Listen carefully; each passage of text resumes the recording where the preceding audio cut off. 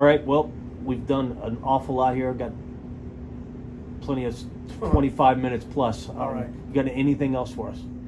Um, obviously, we you know we appreciate uh, not just you guys, everyone in the whole industry, where our, our sport is is such a niche, cliche sport, and then I find that everyone that gets involved in it falls in love with it. Right? Yeah. Like my wife never knew what wrestling was; she's a wrestling junkie. You know what I mean? Yeah. Like. Uh, I find that very normal in our sport. So you guys telling the stories of everybody helps grow our sport. The, Yeah. grow, the growth of women wrestling is only going to help us, you know, exponentially. Yeah. Uh, something I would love to do here. You know, I've been talked about trying to get a women's team here. A lot of moving parts, but those conversations have happened. Good. Um, I think it's important for the sport Mhm. for everybody.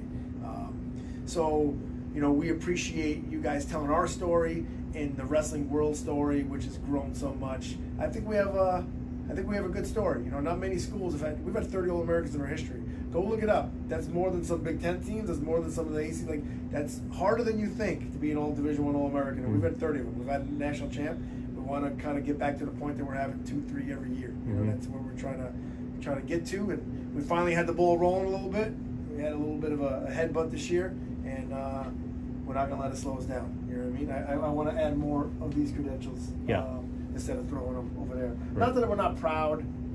It's just those aren't our goals. So since they're not our goals, they stay there. You know what I mean? Mhm. Ho- You know, having all Americans is the goal, so that's why they stay here. You know Yep. what I mean? Yep. So, um, you know, uh, but we're working. Uh, we, we believe we work just as hard as anyone else, and, and we appreciate you guys telling the story. And, and like I said, listening to us. And if if you got uh, no headache kids, we'd love to have them. What I mean by no headaches is, you, I'm not saying that you're not going to be socially okay, but wrestling and school are going to be the most important things, and this way you're going to take care of everything else, and we can focus on fixing wrestling. You know what I mean? Mhm. Um, we're always looking for those no headache kids. Come in, yes, coach, love you, coach. I'll give you everything I got. You give me everything you got, and work well in those relationships. So, if you got any of those kids, would would love to have them. Awesome. All right, Coach. Thanks a lot for your time. Appreciate the, the tour, and it's it's been great to get to know you. Appreciate it. you too, man. Thanks.